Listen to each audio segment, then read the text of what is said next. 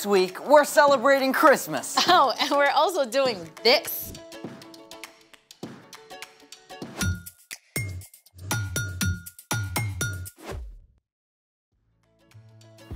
I'm Amaya, And I'm Zeke, and we're talking about Christmas. which is celebrating Jesus, God's greatest gift. What do you love the most about getting ready for Christmas? Oh, everything the lights, decorations, ooh, Christmas specials. And that's what Christmas is all about, Charlie Brown.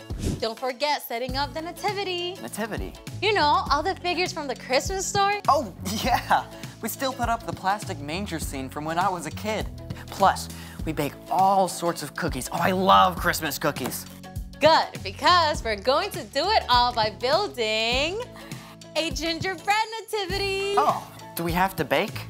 Nope, but we do have to architect. Here we have all of our characters. We have Mary, we have Joseph, we have baby Jesus, and one, two, three wise men. What about the shepherds? The kid didn't have any shepherd. Well, I'm turning this guy into a shepherd. The kid also didn't have any barns or stable or a shed. So, well, we're gonna be using Graham crackers. Yeah, I mean, this is where our architectural skills really come in. Have you ever made a gingerbread house before? Yeah, but the icing never holds right. The pieces always slide or fall down. Not today, because today we're using sugar glue. Mm, I'm not seeing glue. Well, that's because we have to apply super superheat until it melts like lava. Oh, that's cool. Let's make it. Remember, do not do this alone. Grab an adult to help. All right, first step, pour the sugar into a bottom heavy saucepan. Thank you. All right, that should be enough to start. Step two, place the sugar on a burner on medium high. Definitely grab a grown up for this part. Step three, swirl the sugar and stir as it starts to melt. Thank you.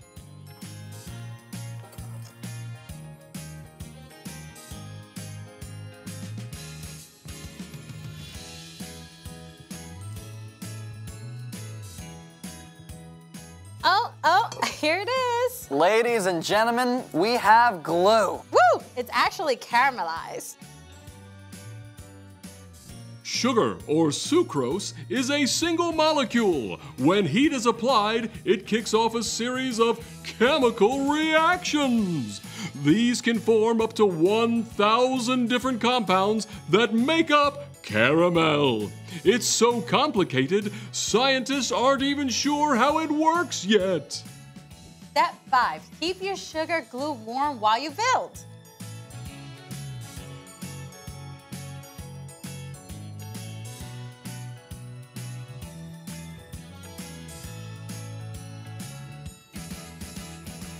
Yay!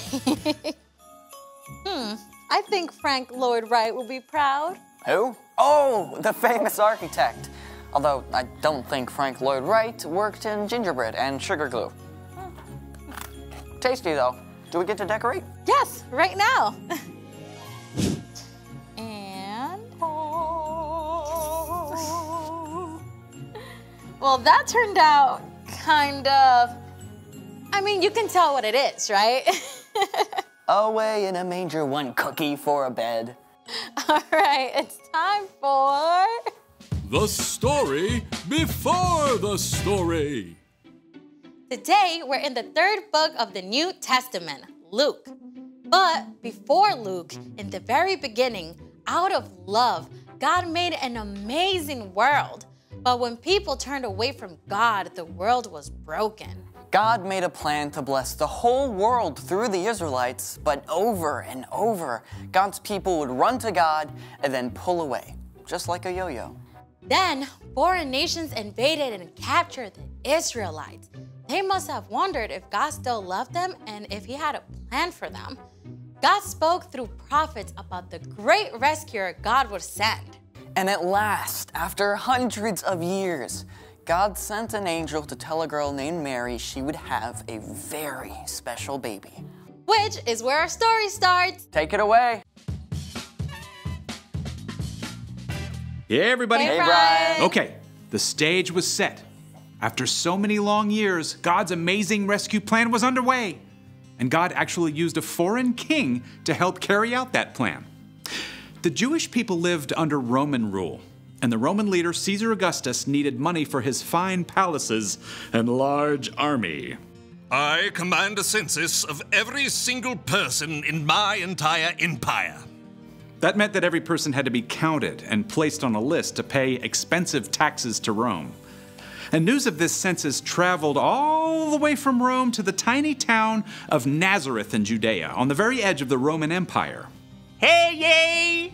Hear ye! Every person must go immediately to their own hometown to be listed. A carpenter named Joseph and the girl he was engaged to marry, named Mary, heard the decree.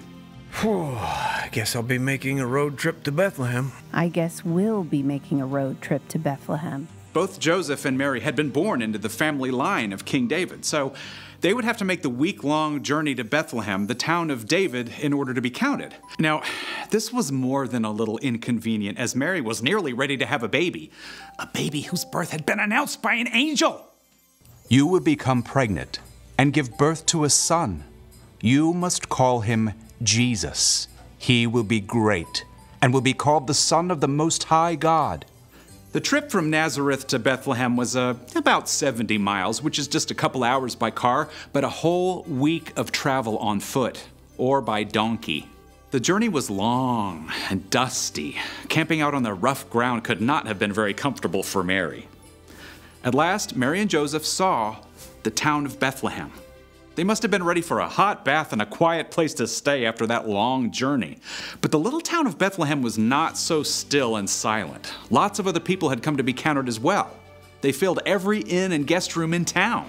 There has got to be room for us somewhere. Have you checked with all of your relatives? Even my great aunt Hulda and, and my third cousins, twice removed. Finally, the very last home that Mary and Joseph tried had a room. Sort of.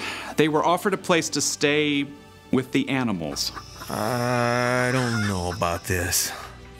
It's dry, it's warm, and this baby really, really, really needs a place to be born.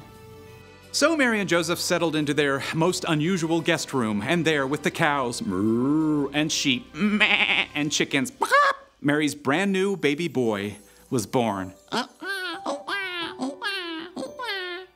It's just like the angel told you. And his eh, name. The eh, angel eh, said we must call him Jesus. Mary wrapped her baby tightly in long strips of cloth to keep him warm and cozy. There was no crib or cradle, so she placed him in a manger. The king of the entire world slept peacefully in the animal's feeding trough as Mary and Joseph looked on, and outside, the nighttime sky blazed with stars.